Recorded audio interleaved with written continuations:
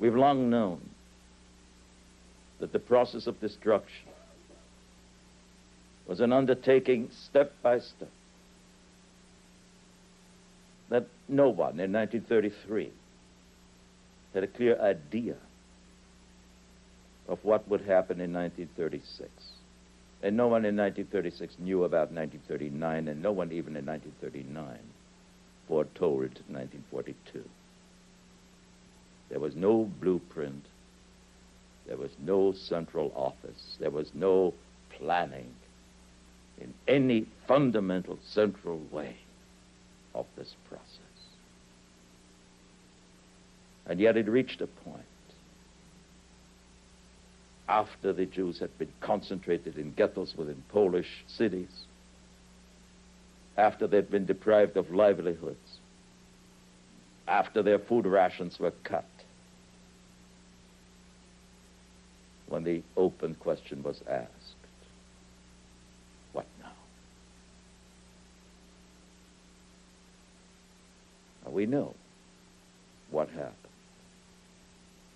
But there is a strange darkness amidst all the thousands and tens of thousands of materials at our disposal pertaining to the central figure, the main character, Adolf Hitler.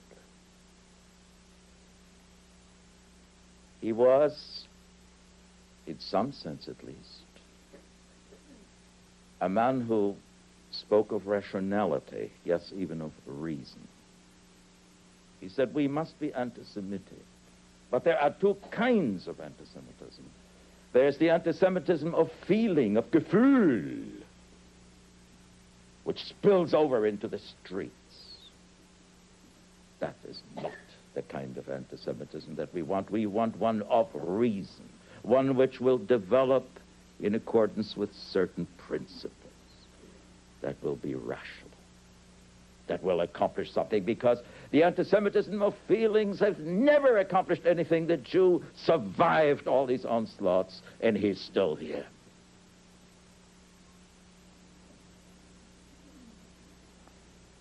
Hitler was, is always depicted, if anything, as the most decisive man in history.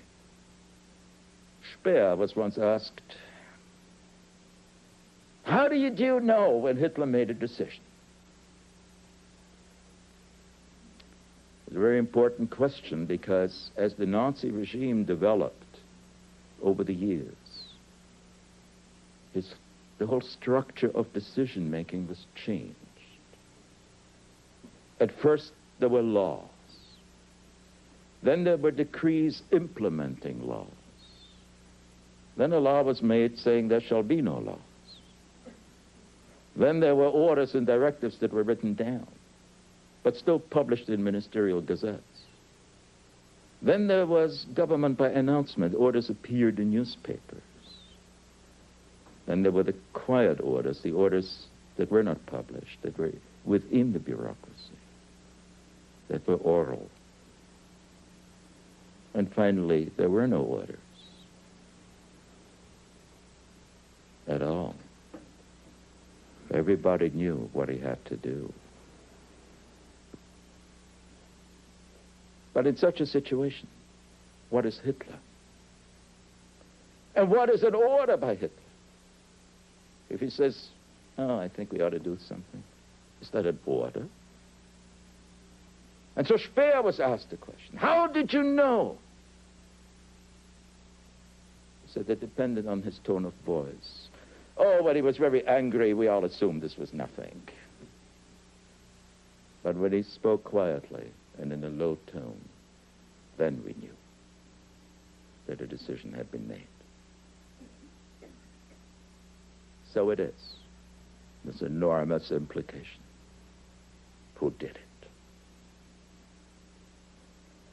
I've always believed it was a vast bureaucracy. One cannot destroy a people. It's not possible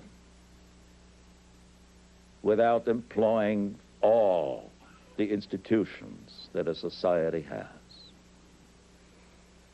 The uprooting process alone required the specializations, the expertise of bureaucrats in all walks of life.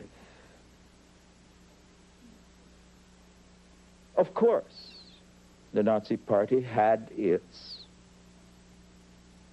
little domains. But that is not to say that the destruction of the Jews was the work of pure Nazis, party members, initiators of Nazi party doctrines.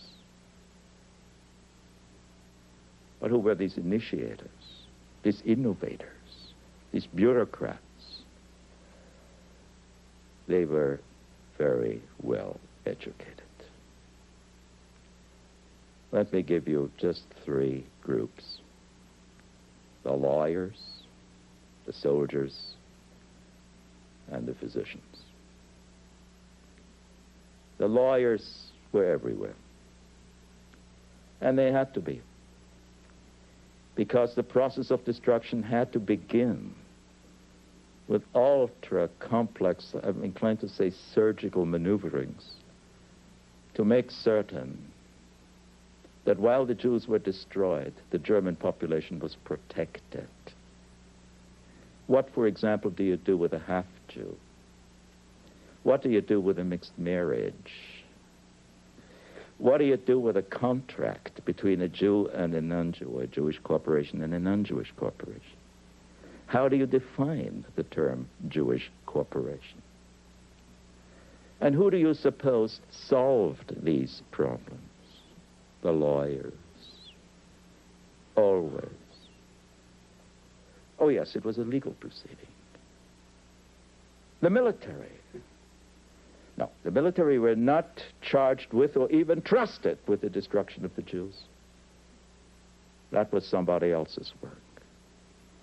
However, they governed many countries Norway, Belgium, France, Serbia, Greece. Uh, they were backup for uh, concentration camp security. They were giving logistic support to murder units operating inside their framework in occupied Russia. Oh, they were heavily involved. And it was a war in that sense against Jewry. And the doctors? The ghetto was conceived of as a quarantine to prevent epidemics. Of course, the first killing operation, it must never be forgotten, was directed against the institutionalized Germans, those with uh, so-called mental illnesses, of whom there were 300,000. 80,000 were gassed. The children, by the way, were not gassed. They were starved. I speak of German children now.